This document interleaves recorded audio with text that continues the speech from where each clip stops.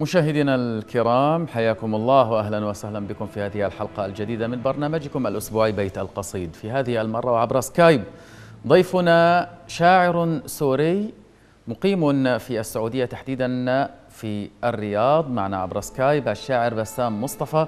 حيا الله دكتور بسام واهلا وسهلا بك في بيت القصيد. أهلا وسهلا بك. حياك الله أستاذ مصطفى مرحبا بك وبمشاهديك.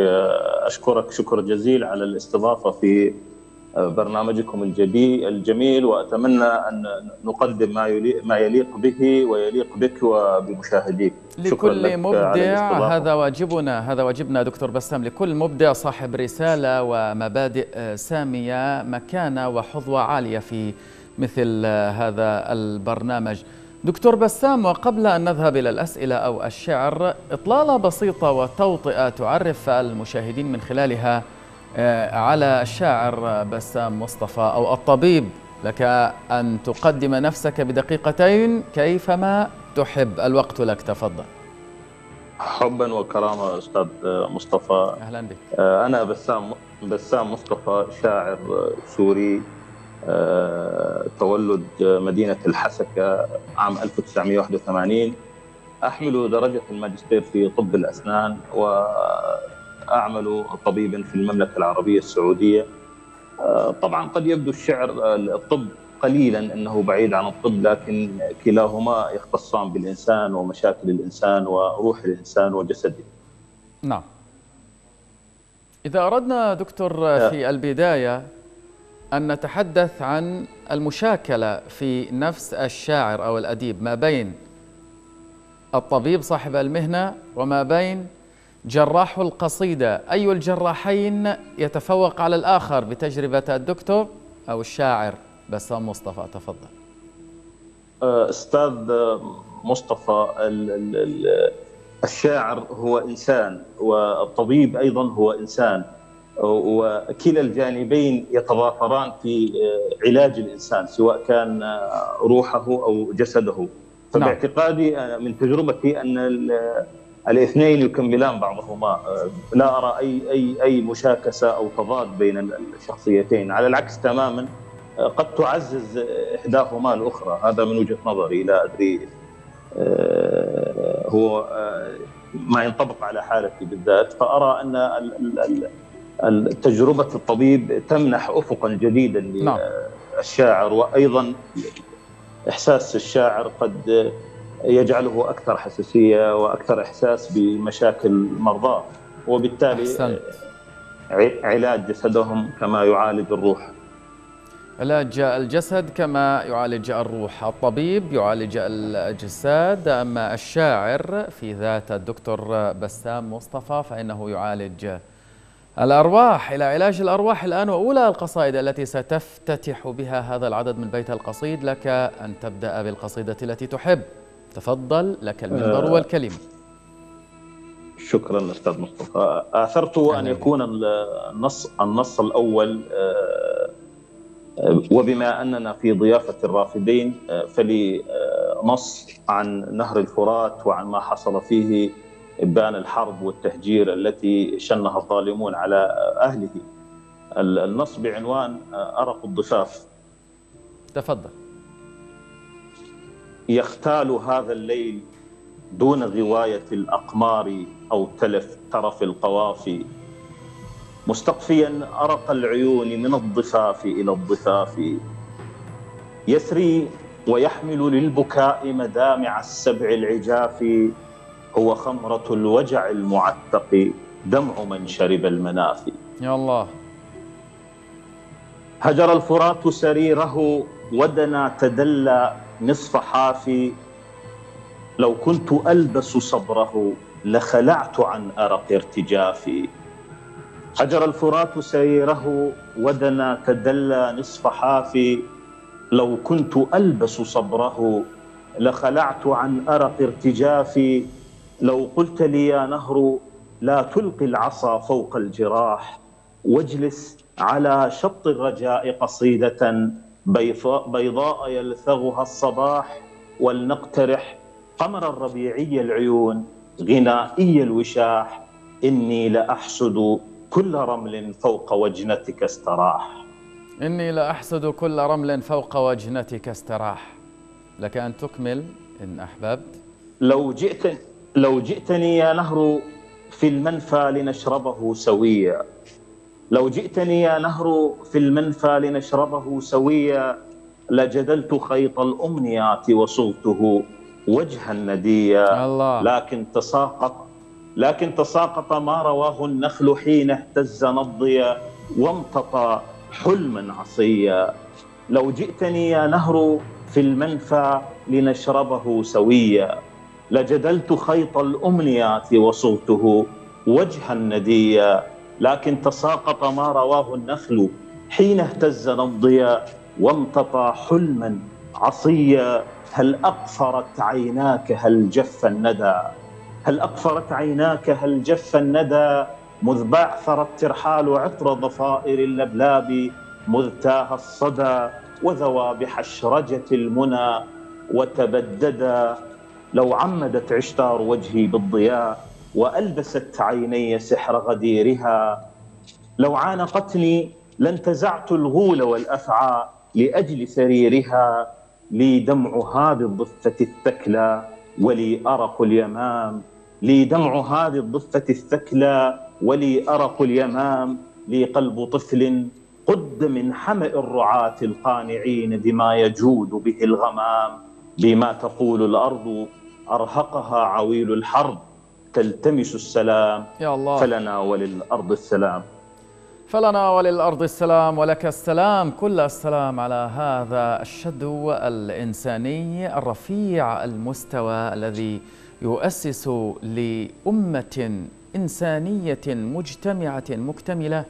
ترتدي البياض وضميرها نقي لا تشوبه رياح محملة بالسواد. دكتور بسام ليتك تحدثنا وبواقعية تامة عن التضحيات التي يمكن للشاعر أن يقدمها. بواقعية تفضل. والله بواقعية آه، على الشاعر أن يكون ملتزم بقضية ما.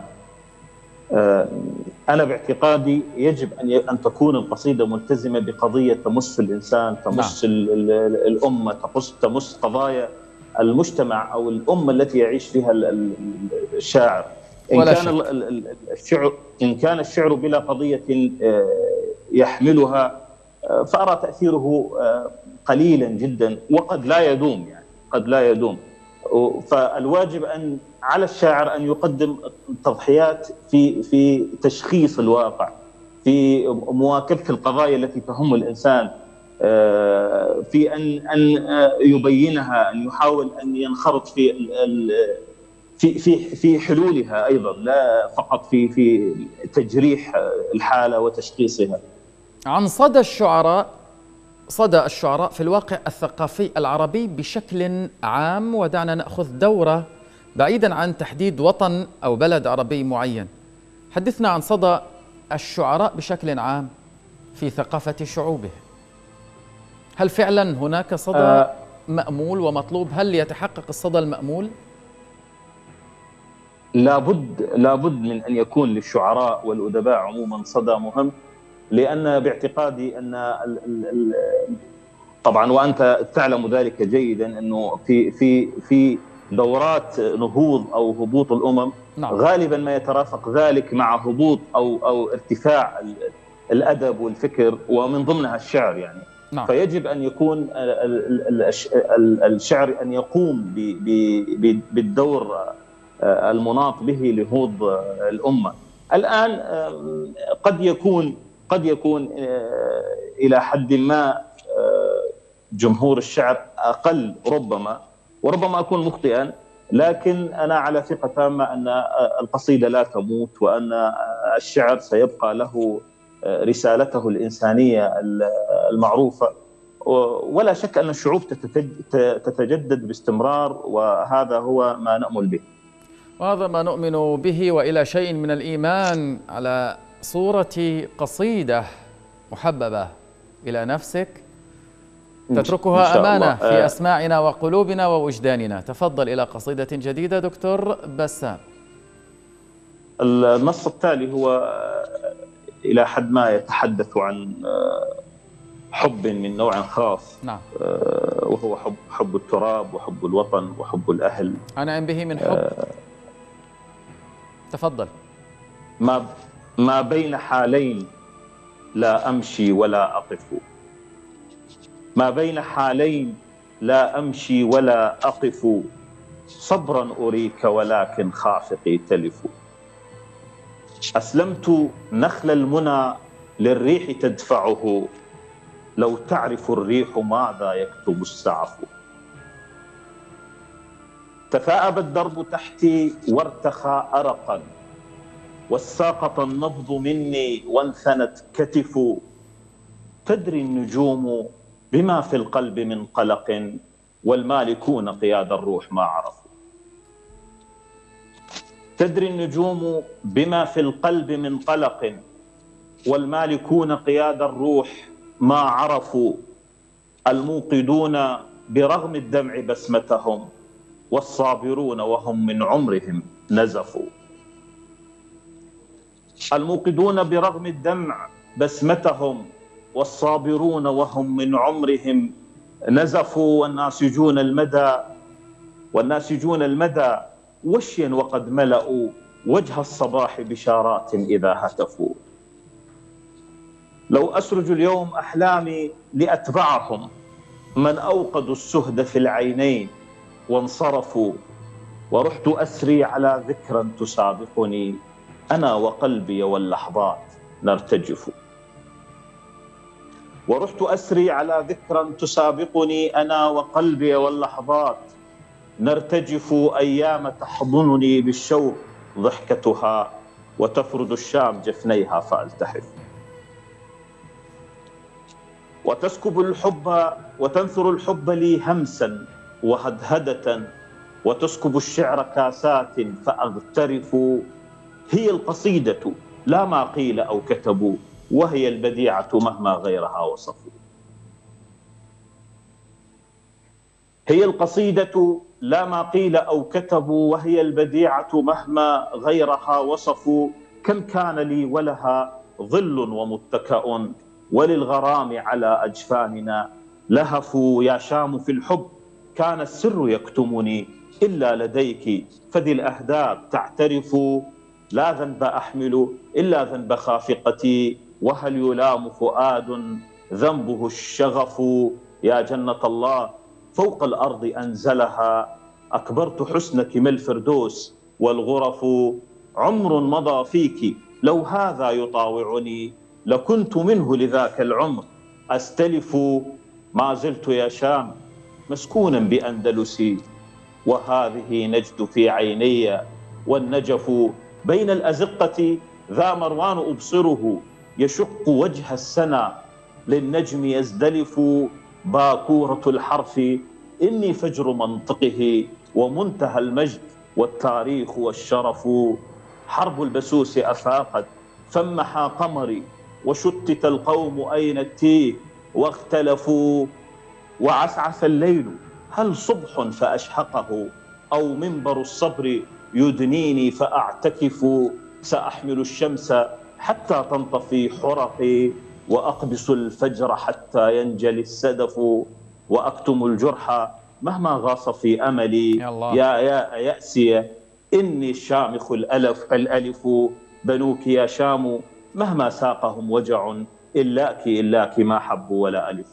إلاك إلاك ما حب ولا ألف. ومثل هذه القصائد تحب وتؤلف شاعرنا دكتور بسام مصطفى عن الذين يمرون مرورا عابرا بجراح أبناء شعوبهم وقضيتهم وربما لا يكترثون. ماذا تقول فيهم؟ بصراحة. أستاذ مصطفى ال ال يعني قلت قبل قليل أن نعم. الشعر الذي لا يحمل قضية هو ليس بشعر حتى وإن كان فيه شيئا من الموسيقى شيء من الألفاظ شيء من التناص شيء من الإزاحة نعم. يجب أن يزين النص قضية يحملها قضية يحملها اضف أضف إلى ذلك أن ما أن من لا يكترث بقضايا أمته وقضايا أهله آه، فربما يكون آه، هنالك شك في في في إنسانيته لا في شاعريته فقط. نعم. حدثني الآن عن رأيك الشخصي وأيضا بشيء من الواقعية وبعيدا عن الحساسية وقل ما تحب دكتور بسام. هناك خلافات أحيانا آه، تطرأ على المشهد الشعري فتجد من يقولون هؤلاء كلاسيكيون وهؤلاء حدثيون وهؤلاء ما بعد حداثيين مثل هذه الموضوعات التي تثار هل ترى أن إثارتها مسألة صحية؟ أم لك رأي غير ذلك؟ غير ذلك؟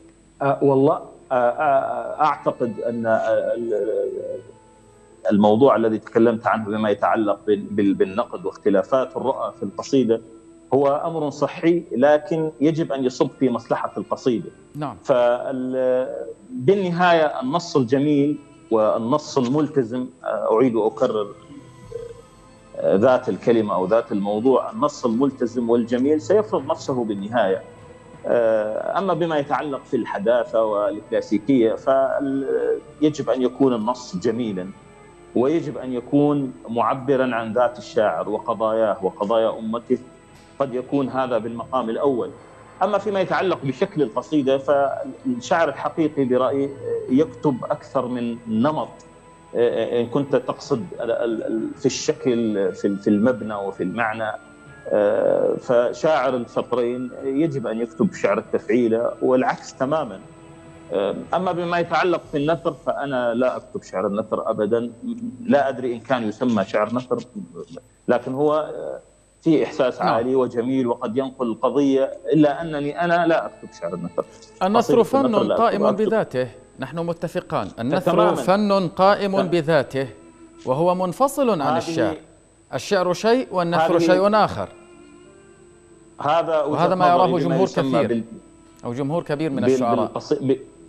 بقصيدة النثر وأنا لست مطلعا كثيرا بمواضيع النقد ربما أنت أعرف مني.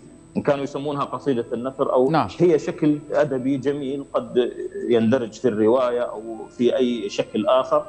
آه، إلا أنني لا أكتب هذا النمط أكتب شعر التفعيلة والشطرين وأيضا حتى الشعر العامي بشكل قليل جدا. نعم. طيب قبل أن أنحو وإياك آه، يعني منحا آخر بالحديث دعني أختم بهذا السؤال. وليتك آه، يعني تتكرم بالإجابة بكل بساطة وبلا أدنى تحرج. قد تجد على مختلف مواقع التواصل الاجتماعي من يتهمون من يكتب بلغة مغايرة للمألوف أو المعهود أو المكرور يتهمونه بالطلسمة. وهناك من يتهم أي نص عميق بالعقم. أي نص عميق يقول هذا نص عقيم لا عميق لمجرد أنه لم يفهمها. هل ترى أن غياب الرؤى الوازنة أو الحاكمية الأدبية إن صح؟ هذا التعبير. هل ترى أن غياب هذه الخطط الضابطة للمشهد هي التي تجعل سين وصاد وعين ولام يلقي برأيه جزافا دون الاستناد إلى قاعدة علمية يتكئ عليها أحسنت أستاذ مصطفى سؤال جميل جدا وأنا تفضل. أشكرك وهذا ينم ينم عن قراءة عميقة وشاعر مجيد أشكرك. وناقد أنا باعتقادي أن أن الشعر عندما يطرح على مستوى واسع أو مستوى شعبي إلى حد ما ويتاح النقد لكل من يريد النقد. قد يخطئ النقد. فكما تفضلت ربما يرون نصا عميقا لكن لمجرد أن لا يفهموه فيتهمون الشاعر جزافا ببعض الصفات وبعض ال هذا نص طلسمي هذا نص سريالي هذا نص تذريري غامض مغمض غير واضح. وربما يقولون هذا نص لا ينتمي للعربية أساسا صحيح رأيت مثل هذه التعليقات نعم. وسمعت بها وأنا أتمنى لو كان هنالك منصات متخصصة في في الأدب أكثر قنوات فضائية نعم. منتديات محكمة يشرف عليها أدباء ونقاد حقيقيون وشعراء واعلاميون نعم. ربما تنال القصيدة حقها في النقد الصحيح والايجابي والصحي نعم. أيضا. وهذا ما نأمله مثلك أو مثلك دكتور بسام. ليتك تأخذنا الآن إلى قصيدة جديدة بعدها سأخذك إلى مكان تحبه لكن نريد القصيدة قبل أن نذهب إلى المكان الذي أود أن أخذك إليه. إلى القصيدة تفضل. لا شيء القصيدة النص التالي يتحدث عن مأساة النازحين النازحين بكل جنسياتهم وألوانهم. قد أخص نعم. بشكل رئيسي النازحين السوريين والعراقيين الذين نعم. ذاقوا من ويلات الحروب والتهجير آه، والويلات الكثيرة. آه، النص بعنوان لو آبت معي. ظلاني وانكفأت خطاك ولف ضحكتنا السحاب. لا مغلق بابي تماما ربما تأتين أو رحل الغياب. كان انتظارك شمع نافذتي سهدا يمدده ارتقاب. لا جئت أنت ولا غفوت ولا سجى لليل باب. الله الله. كان انتظارك شمع نافذتي سهدا يمدده ارتقاب لا جئت أنت ولا غفوت ولا سجى لليل باب ظلاني يا حزن اليمام ودهشة المنفي في مدن الحصى. من للغريب سوى الأماني وسوى انتظار الماء من شفة العصا؟ زين خطاك إذا مشيت. زين خطاك إذا مشيت إذا دعاك الحلم أن تلج المدى. وانثر دموعك للسحابة ربما يشفيك ملح الخوف إن بلغ الصدى. زين خطاك إذا مشيت إذا دعاك الحلم أن تلج المدى. وانثر دموعك للسحابة ربما يشفيك ملح الخوف إن بلغ الصدى. وحيان هل تدرين ما سر المسافة حين يبصرها القصي؟ وحيان هل تدرين ما سر المسافة حين يبصرها القصي؟ تتكور الساعات حول بكائنا والوقت دمع قرمزي ضاعت وصايا الفجر. كيف تبعثرت في التيه وابتعد النبي؟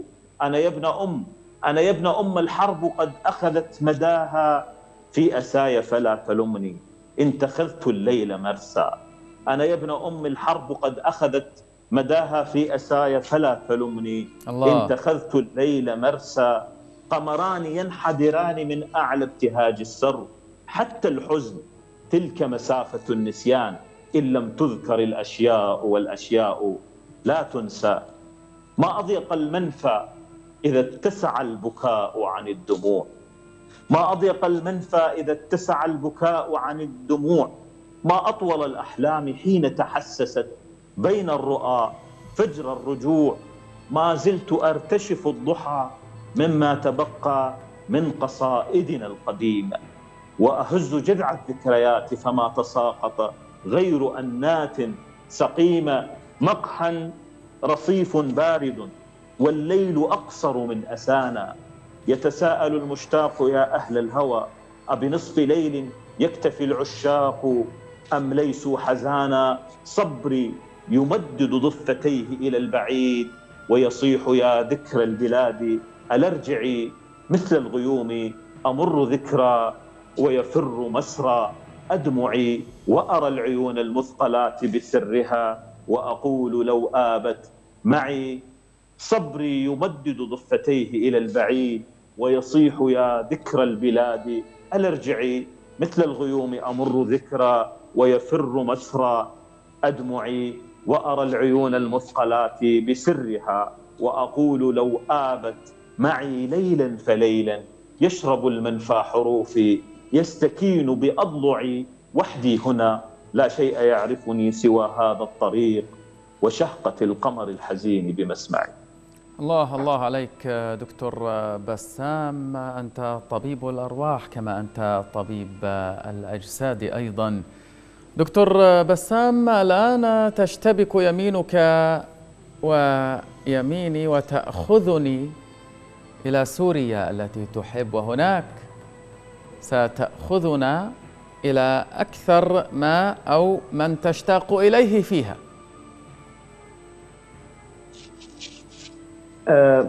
لا شك أن بالمقام الأول هم الأهل. نعم. لا شك بذلك. وثانيا أه أي إنسان بعيد عن بلده يشتاق لكل تفصيل في بلده ولا شك. ابتداء من ترابه إلى سمائه إلى آه، ناسه إلى أطفاله إلى كل التفاصيل آه، التي يفتقدها. فالشوق عام والحزن على ما فيه أيضا هو عام. أحسنت أحسنت يا دكتور. سنواصل معك هذا اللقاء العذب والشائق من بيت القصيد. ولكن مشاهدينا الكرام سنخرج الآن إلى فاصل قصير.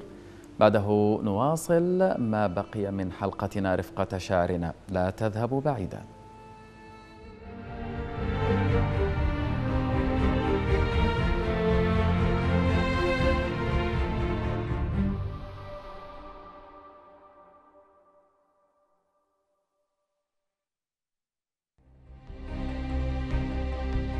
مشاهدينا الكرام ننوه لحضراتكم أن تردد قناة الرافدين الفضائية هو عشرة آلاف وسبعمائة وسبعة وعشرون الاستقطاب أفقي على مدار القمر نايل سات.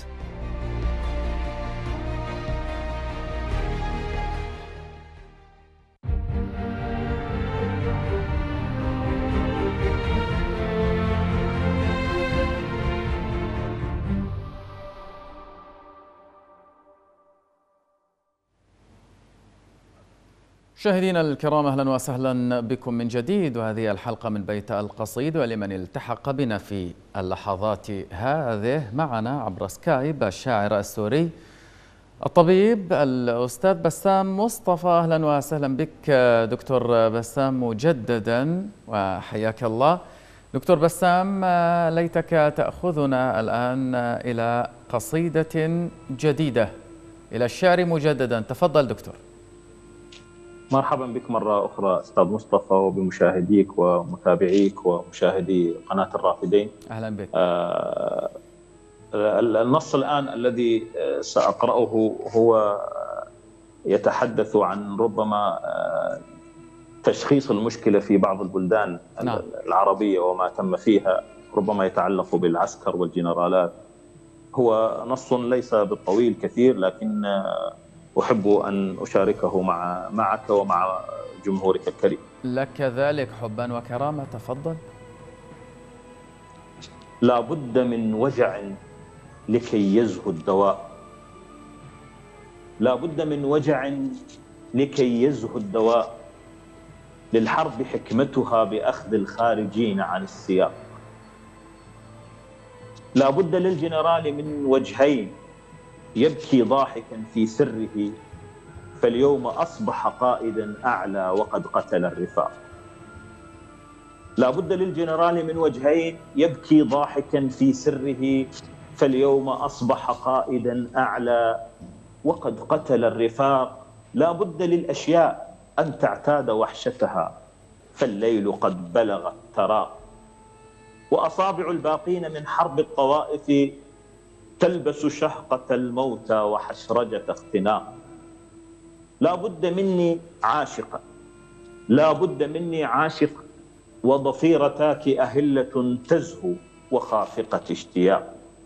لا بد من بيت أخير للقصيدة. ها أنا أستل آخر ما تبقى من دم الأوراق. لا بد من هدم الجدار. ليس من أجل اليتامى.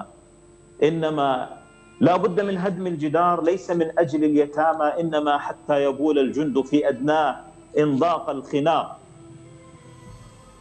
لو كان لي وجه الخزامة. إيه. لو كان لي وجه الخزامة لخرجت عن جسدي مساء وانتثرت على صبي. لو كان لي جسد وجه الخزامة لخرجت عن جسدي مساء وانتثرت على صبي.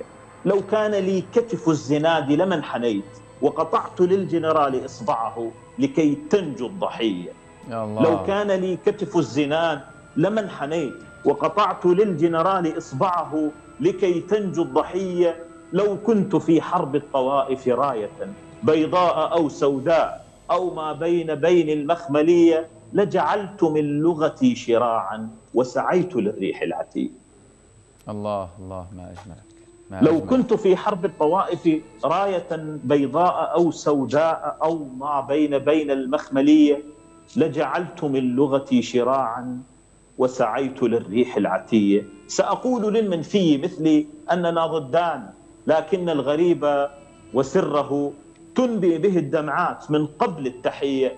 كيف افترقنا تحت حد الموت فوق ترابنا ثم اجتمعنا ها هنا في خيمة الإحسان. في بلد قصير. الله الله ما أجملك دكتور بسام. الآن سأخذك إلى إسقاطات طبية على الشعر وتجيبني بإجابات أدبية ما استطعت إلى ذلك سبيلا. ما رأيك بهذا التحدي المفاجئ؟ نحاول أستاذ مصطفى. هل القصيدة لا تقلق لا تقلق. ستكون خفيفة على اللسان ثقيلة في الوجدان ودسمة. هل للقصيدة أسنان باعتقادك؟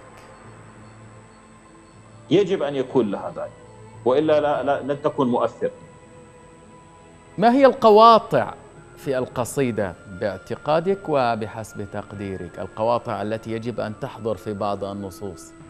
الأنياب القاطعة القواطع؟ يجب أن أن يكون الفكرة تلامس قضية إنسانية سامية أولا. ويجب أن تحمل لغة جميلة لغة شعرية حقيقية. نعم. يجب أن تكون تلامس الإنسان بشكل رئيسي. نعم. في الأسئلة الأولى كنت أطلب منك أن تكون الإجابات بواقعية. لأن نريد أن نحفز المتخيل شيئا فشيئا أو نحفزه نوعا. ما دكتور بسام لو أردت أن تعود بالزمن إلى الوراء ومقابلة بعض الشعراء القدماء باعتقادك شخصية من من الشعراء الذين قرأت لهم ترى أنه يصلح لأن يكون طبيبا جراحا مثلا والله هنالك أكثر من شاعر آه، أبرزهم الذي قفز اسمه إلى ذهنك الآن من يكون ربما؟ ربما بدر شاكر السياب أو المتنبي. الشاعر الذي كان يستحق أن يكون طبيب المخ والأعصاب من هو؟ المتنبي. أيضا المتنبي. لا شك. الشاعر الذي كان بإمكانه أن يكون معالجا نفسيا. معالجا نفسيا الكبير بدر شاكر السياب. بدر شاكر السياب. رأيتك يعني آه، كنت تتراوح ما بين بدر شاكر السياب والمتنبي وهذا المزج ما بين شاعر من العصر العباسي وشاعر من العصر الحديث. إلى أين يمكن أن يقودنا لو أردت أن تفيد القارئ أو الشاعر الذي لا يزال صاعدا ومثابرا على الطريق؟ هل هناك خطة كانت مقصودة للمزج ما بين العصور في قراءتك الشخصية؟ حدثني في هذا الموضوع قليلا. أستاذ مصطفى هو لم يكن التأثر الشديد بالمدرستين أو الشاعرين العملاقين المتنبي مالئ الدنيا وشاغل الناس و زعيم الحداثة في العصر الحديث زعيم الرواد بدر شاكر السياب نعم. عن سابق تخطيط وإنما آه هذا ما جلبه القراءة وبالتالي النص المدهش والجميل سيجبر يجبر الشاعر أن يتأثر بالمدارس المذكورة وأعتقد أن أغلب الشعراء متفقون على من ذكرت يعني التمازج بين المدرستين لم يكن نعم. عن سابق تخطيط ولكن لمست عبقرية فذه ربما لا تتكرر في هذين الشاعرين. قبل أن أذهب إلى طرفة أخرى أود أن أخذك إلى سؤال مختلف. هناك شعراء لا بأس بهم يرون بأن النص الشعري ينبغي أن يقوم بناؤه على فكرة واحدة من أوله إلى آخره. هل أنت مع هذا الرأي أو أنك ترى بأن القصيدة تحتمل أن يكون بها أكثر من فكرة؟ وإن تعددت رؤى هذه الأفكار. باعتقادي أن النص الحديث نعم. المدهش يجب أن يحتوي أكثر من فكرة واسقاطات متعددة. جميل. يجب أن يحتوي. والأمثلة كثيرة ربما تعرفها في العصر الحديث من قصائد آه، إن شئنا أن نسميها هي قصائد درامية تتكلم عن عن الحب وعن الإنسان وعن الوطن وعن الغربة وعن الحبيبة وعن الأم. فهذه القصائد هي أقرب للملاحم نعم. آه، باعتقادي. عندما تكون من فكرة واحدة فهي تناقش موضوعا واحدا وتلامس آه، سياقا واحدا من البشر وإهتمامات نعم. محددة جدا حتى أن هذه الطريقة ليست فقط ناشئة بزماننا دكتور بسام في العصر الجاهلي كان الشعراء ربما يبدأون مطالعهم الوقوف على الأطلال. ومن ثم الوقوف على الأطلال ومن ثم صحيح. التغني بالقبيلة وربما بعد ذلك يذهب إلى الموضوع الذي يريد. ربما يصف رحلته ويصف راحلته وربما نعم. يقف على المنازل وربما آه، يذكر بعض مغامراته. أحسن. وأنت تعرف كما كما فعل امرؤ القيس وغيره من الشعراء. نعم. فالقصيدة تحتمل القصيدة المتكاملة الناضجة نعم. تحتمل آه، عدة آه، مواضيع في آن واحد الآن إلى طرفة مختلفة وهي فيها تحفيز لغوي دكتور آه، بسام سأطرح عليك خمس مفردات خمس مفردات وأريد أن تعطيني التعريف الذاتي الذي يمثلك لكل مفردة بعيدا عن التعريف الدارج والمعروف لدى الكثير من الناس هل أنت جاهز؟ معك أنا أستاذ مصطفى.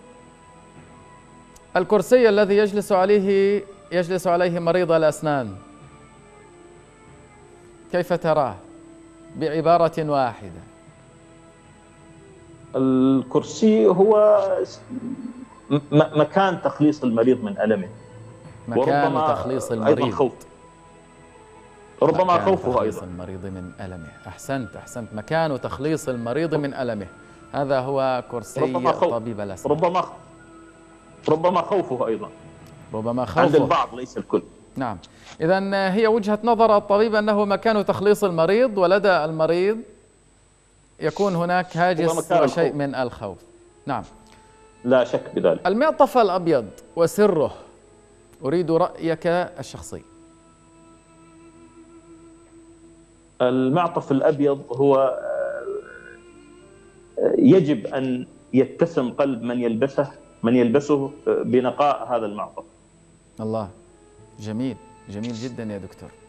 طيب الآن بالنسبة للصفحة البيضاء كيف تراها وكيف تعرفها؟ الصفحة البيضاء أراها هي قلب الأنقياء ممن نحب وهي مكان لهبوط القصيدة أيضا. القافية. القافية هي اللازمة الموسيقية الضرورية في الشعر ولا آه، لا يجب على الشعراء أن يتخلوا عنه سواء كان بشعر التفعيلة أو الشطرين. أخيرا الفرصة. الفرصة يجب أن تنتهزها إذا كانت بالشكل الصحيح والأخلاقي لأنها لن تتكرر. أحسنت يا دكتور يجب أن تنتهزها بالشكل الصحيح وبأخلاق. وتذكر دائما أن الفرصة قد لا تتكرر. أحسنت صنعا وإجابة. دكتور بسام مصطفى الشاعر السوري الآن وقبل أن نذهب إلى قصيدة جديدة سأطرح عليك سؤالا مختلفا نوعا ما. ونريد إجابة عفوية دون تفكير مسبق. أريد إجابة فورية. كيف يمكن للشاعر أن يشعر بالإنصاف؟ عندما تصل قصيدته إلى الناس ويلامس همومهم عندما تصل قصيدته إلى الناس ويلامس همومهم غير ذلك غير ذلك فكر بأنانية الشاعر للشاعر حق أن يكون أنانيا أحيانا أليس كذلك؟ أتفق معك إلى حد ما يجب ان أن يكافئ أن يكافئ بالإطراء والمدح على نصه وشعره الجيد وقضيته التي التزم بها. الشاعر أستاذ للحب وهو فاشل فيه. هل تتفق؟ آه لا أتفق كثيرا ولا أختلف كثيرا فالشعراء هم حساسون نوعا ما وربما هذا آه، يجعل من آه، موضوع الحب يحتاج إلى إلى إلى تفاصيل دقيقة جدا. وهذا ما يقال أن بعض الشعراء ربما يكونون فاشلين في الحب. لا لا أتفق ابدا. فالحب آه، أساس الإنسان وربما سيكون أساس الشاعر. لأن نعم. الشاعر آه، سيكون أكثر حساسية تجاه المشاعر الإنسانية. ليس كل شاعر حكيما ولكن كل ليس كل حكيم شاعرا عفوا ولكن يجب أن يكون لدى كل شاعر قدر معين من الحكمة، هل تتفق؟ يجب أن يكون حكمة وطيش أيضا. نعم. ونزق لأنه الشعر هو انعكاس هو مرآة الحياة والحياة تحتوي كل التفاصيل المتناقضة نعم. تحتوي الحكمة وتحتوي النزق وتحتوي الصدق وتحتوي الشاعر هو مرآة للمجتمع. نعم. دكتور بسام وقد أفاجئك بطلبي أنا أعرف أنك تكتب أيضا الشعر الشعبي ونريد قصيدة شعبوية جم... يعني تصلح للعام من الناس أو تصل ببساطة وبانسيابية. حتى تكون مسك ختام هذه الحلقة من بيت القصيد. هل أنت جاهز لذلك؟ أه، سأقرأ أه، نصا عاميا بلهجة أهل الجزيرة السورية التي تفضل. ربما تكون نفس اللهجة العراقية قريبا لأهلنا في العراق نعم. تقريبا قريبا. أهل الجزيرة في سوريا مع أهل العراق يشتركون بنفس اللهجة. خذنا إلى هذه القصيدة آه، حتى تكون أجمل ما نختم به هذه الحلقة تفضل طبعا لإيماني بانتصار الحب في النهاية على الحروب وعلى التدمير وعلى التهجير فالنص هذا هو آه، نص غزلي نعم. ربما يكون إجابة على سؤالك السابق ان الشعراء ربما الذين يلتزمون بقضية معينة لا يكتبون في الحب لكن هذا النص هو نص للحب. يل أخذت من القمر ضحكه وجبين. يل أخذت من القمر مجددا؟ ضحكه وجبين. ضحكه وجبين. ويلي بست من المساء رمش وكحل. ما شاء الله. البحر يشبه عيونك مرة جارف مرة طايش مرة هادي مثل ضحكات الطفل. وأنا نخلة معلقة بغيمة لقاك ويا كبر صبر النخل. أستلف دمع وأماني وأنت تتغلب ثقل وأنا ملهوف على وجهك؟ وورد خدك اللي شاتلني شتل. يا المواعيدك سراب وما تجي. يا المواعيدك سراب وما تجي. لو لمست بروحي عطرك يا ندى وقلبي رمل من سألتك يا حلو رشفة عسل. جاوبت عنك تفاصيلك دلال اللي يريد الشهد يتحمل نحل. اللي يريد؟ من كتابتك اللي يريد الشهد يتحمل نحل. اللي يريد الشهد يتحمل نحل أحسنت لن تبلغ المجد حتى تلعق الصبر. أصبت قولا وأحسنت إلقاء. دكتور بسام قبل الختام رسالة عفوية هل أقبل أم انتهى الوقت؟ صادق. أنا ظننتك انتهيت من القصيدة لكن لك أن تكمل. تفضل. لا. كلنا أذان مصغية. بالعكس كلنا متعطشون إلى مزيد من هذا الأسلوب وهذه البساطة في القرب من الإنسان. تفضل أكمل القصيدة. من سألتك يا حلو رشفة عسل جاوبت عنك تفاصيلك دلال اللي يريد الشهد يتحمل نحل من كتبتك. ارتشفت النجمة من شفتك ومع الغيم سرحت. ومن بعد ليلين ظلت ريحتك يمي ولا كنك رحت. يا المراودني على ساعة منام شردت كل فكرة عندي ولا ارتحت ويا المراهني على صبري عليك ماني قدرة وجنتك انت ربحت. حاولت أنسى ضحكتك وسجنتني وحاولت أكتم دمعتي اللي فضحت. وقتي واقف ولا مشت بي الثواني عند ودعك صرت دمعات وطحت شكرا لك. ما شاء الله عليك دكتور بسام. العفو منك أيها الشاعر المفوه فصحى وقربا من الإنسان البسيط. هذه القصيدة التي تجعل من العراق وسوريا بلدا واحدا. بعفوية المحب. بعفوية المحب ماذا تقول من أجل سوريا في الختام؟ تفضل. والله أتمنى أن ليس من أجل سوريا فقط كل البلدان أحسن. التي يعاني أهلها. أتمنى أن تعود سليمة معافاة ضاحكة كما كانت على مدار آلاف السنين وهي مهد الحضارات سواء كانت في سوريا والعراق وفلسطين. أتمنى ذلك وأتوق إلى ذلك اليوم بكل ما أحس وكل ما يتدفق في قلبي من مشاعر وأمنيات. وصلنا إلى الختام للأسف دكتور بسام. والأمل أن تكون الحياة كريمة بالقدر الذي يتيح لنا تكرار مثل هذه اللقاءات العذبة والجميلة. أنا سعيد بذلك أستاذ مصطفى وشكرا لك ولقناة الرافدين ومشاهديك على رحابة الصدر وعلى هذا اللقاء الماتع الجميل. حياك الله الشاعر بسام مصطفى الشاعر السوري الجميل والطبيب كما عرفت نفسك طبيب الأجساد والقلوب أو كما تحب أن تطلق على الشاعر إن كان يشتغل بمهنة الطب. شكرا جزيلا لك دكتور بسام. مشاهدينا الكرام بهذا نكون قد وصلنا إلى ختام هذه الحلقة من برنامجكم الأسبوعي بيت القصيد. في الأسبوع المقبل بحول الله وقوته يتجدد لقاؤنا رفقة شاعر جديد وحتى ذلك الحين لكم مني أطيب التمنيات والسلام عليكم ورحمة الله وبركاته. إلى اللقاء.